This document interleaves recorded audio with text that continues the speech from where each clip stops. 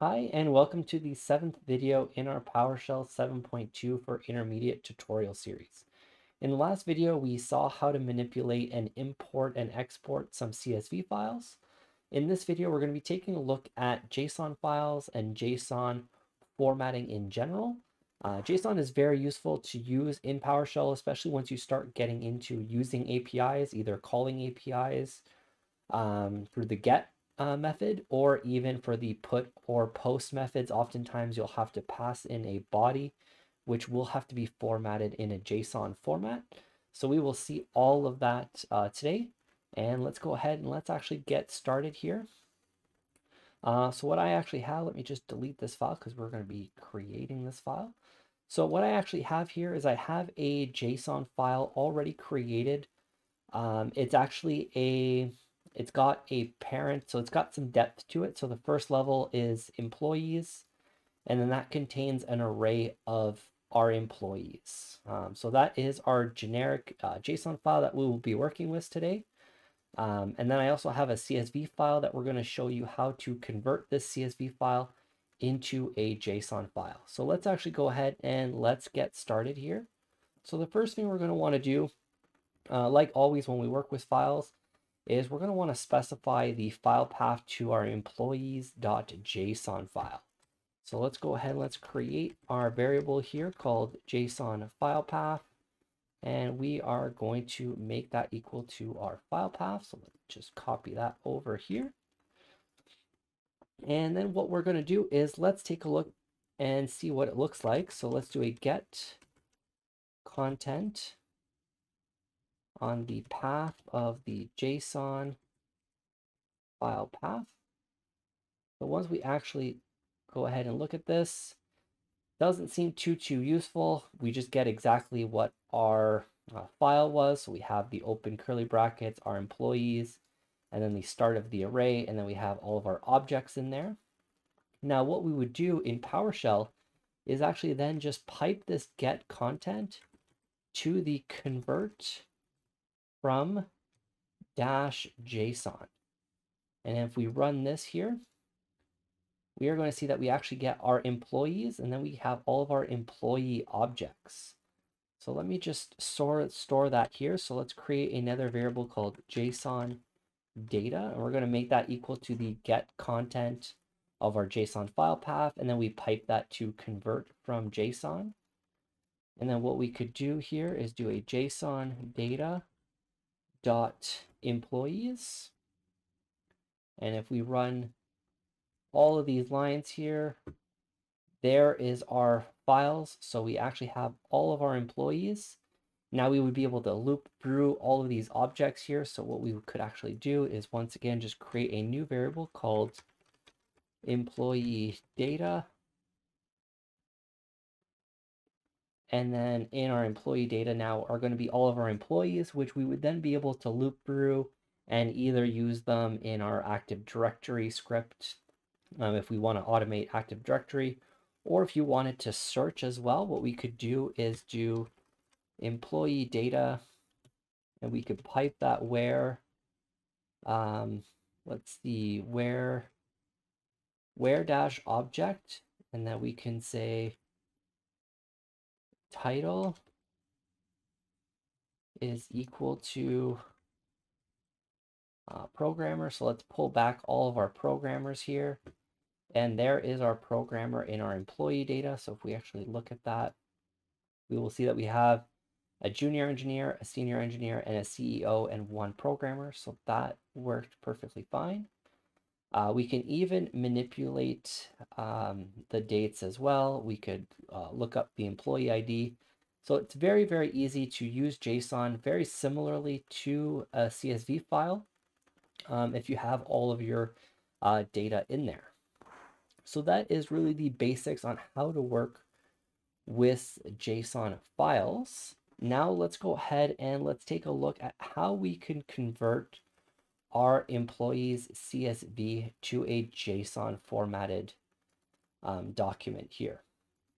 So what we're going to want to do is we're just going to want to go ahead and create another variable here called CSV file path. And we're just going to make that equal to our CSV path here. And then what we're going to want to do is create a CSV data variable and we could do an import dash CSV. And then our path is going to be CSV file path. And if we run that here, we can then look at the CSV data. We can see that we have everything there. We have our ID, we have our name, title, country in this one. And all we need to do here is do a CSV data. And we can actually pipe that then to convert to JSON. And if we look at this here, we will actually see that we have a nicely formatted JSON just without that depth that does say employees, um, but we you don't need that. and it's actually probably easier if you don't have that, if you're just trying to work with employee data, if you already know that everything in that file is just employees, uh, it is 100% okay. And then what you could do is you can then pipe that to an out dash file. And then you would just, at that point, give it a file path here. So let me do a C scripts, intermediate tutorials, JSON files, and then export JSON.json. And if we go ahead and we run that here, we will see our JSON file is now here, all created with um, that CSV employee data. So if you were uh, trying to migrate all your data from CSV files to JSON files, that's how you would do that. Now comes the probably the most useful part of working with JSON files, and this is probably how you're going to be uh, manipulating JSON most of the time through PowerShell. You might have JSON files um, for like configuration files. Uh, configuration files for me often are XML files or JSON files. Um, but you're always going to be working with JSON if you're working with APIs. Uh, now we've already seen a video where we've compared invoke web request compared to invoke REST method. We're going to be using invoke web request in this one to really kind of manipulate that JSON. So we're going to be using a free API today. So we're going to create a variable called URI, and this is going to be our API um, URL.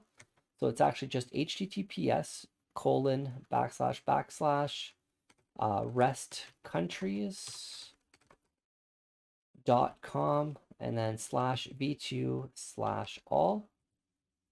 And then what we're going to do is we are then going to create a variable called web request, which is going to be equal to invoke dash web request we're going to specify our URI here, and we're also going to specify our method, which is going to be get.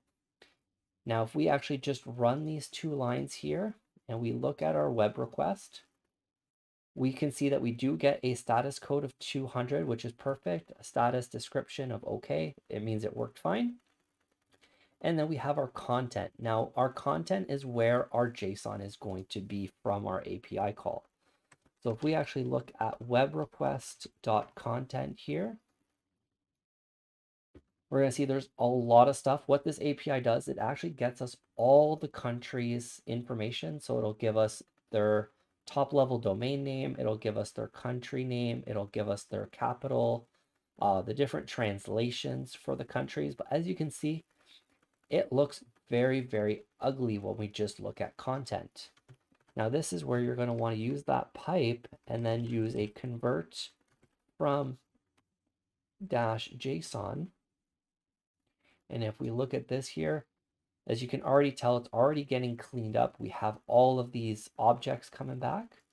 So what we can actually do here is just do a dollar sign uh, country data equals the web request content convert from JSON and then what we could actually do is do a country data, and we can actually pipe that to where dash object name is equal. And we can see where it's equal to Canada here. And here we have all of our Canada information from this API. So we have our Canada, we have our top level domain.ca.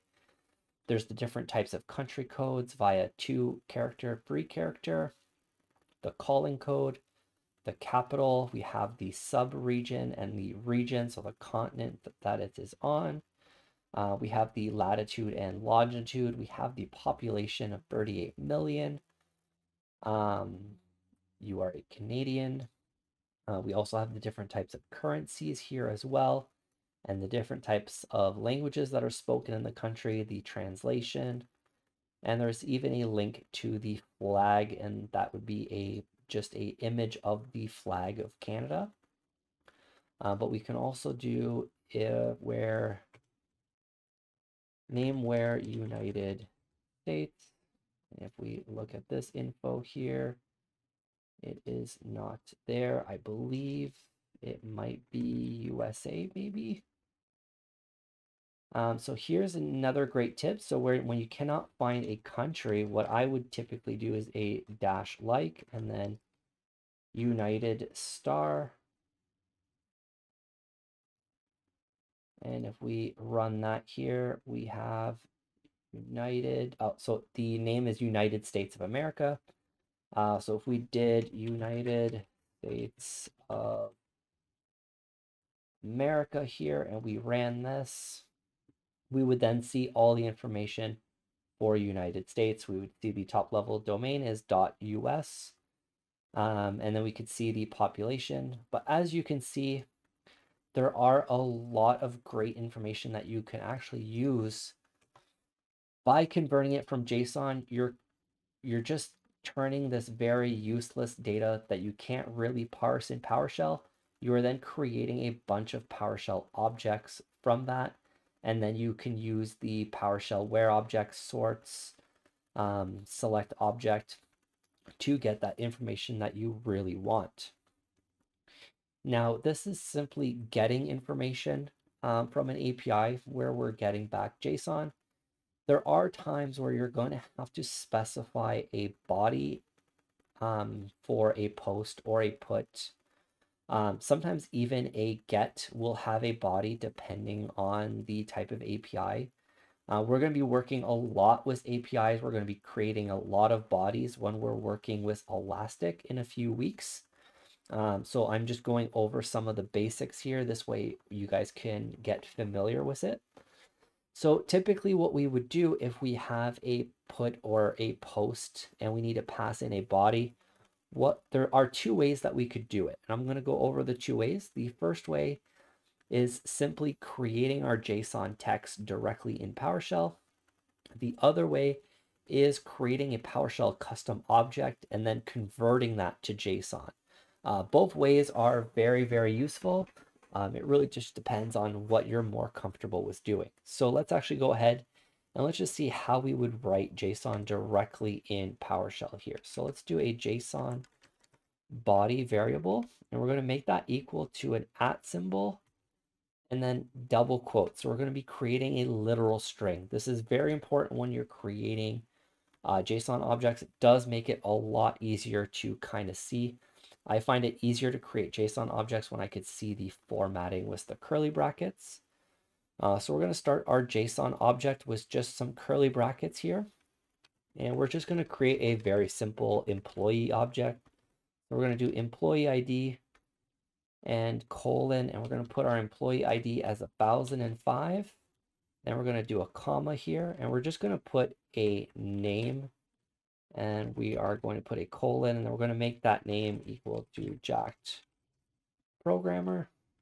And that's all we're going to do. That's going to be our JSON body. Uh, this is what we're passing into our API, let's say. So now if we look at JSON body afterwards, we will see it looks just like that, which is perfectly fine. Now, if what we did is we did a convert from JSON just to see what it would look like as a PowerShell object. There it is. We have our employee ID. We have our name. So this could be a very easy way to create PowerShell objects is to create a JSON and then just convert from JSON and you'll have your PowerShell object. Um, if you're wanting to manipulate objects in PowerShell, the other option is to create a PowerShell object and then convert that to JSON if you wanted to use that in an API call. Uh, now let's go ahead, let's create our test object here. And we're going to make that equal to new object. And we are going to do a type name PS custom object. And let's go ahead and let's do a add member here on the input object of test object. The member type is going to be a note property. The name of our property is going to be employee ID. And the value here is going to be 1006, let's say. And we're just going to add another line here. We're going to call it uh, name. And let's put that here to test jacked. Whoops. Test jacked. All right, so once we have our object here, we're just gonna look at it once more after we create it, just so you guys can see what our object looks like. Here it is, we have employee ID, we have name. All we would need to do now is then convert from, oh, convert to JSON. And if we run that here, then we would have our JSON and then all you would need to do is make that equal to a body and then you would be able to then pass in this body through our invoke REST method or invoke web request. Um, oftentimes, if you're using a put or post, you will see um, that you can specify a body, and that body is usually needs to be formatted in JSON. Of course, the API documentation will confirm that, uh, but I haven't really seen anything that's not JSON for APIs, um, but I could be wrong on that. Uh, but most of the time you will be fully manipulating it with JSON. And we're going to be seeing a lot of this in our next videos uh, with Elastic. So we only have one more file type to look at and manipulate with PowerShell, and that is going to be the XML file type. So be sure to stay tuned for that. If you guys have any comments or questions with JSON files, please let me know down below in the comments. I will be glad to answer your questions or even make another video that clarifies something um, or goes more in depth in a topic that you guys want as well. Be sure to hit that subscribe button, hit that like button, hit that notification bell to be notified when that next video comes out. And I will see you guys on the next video.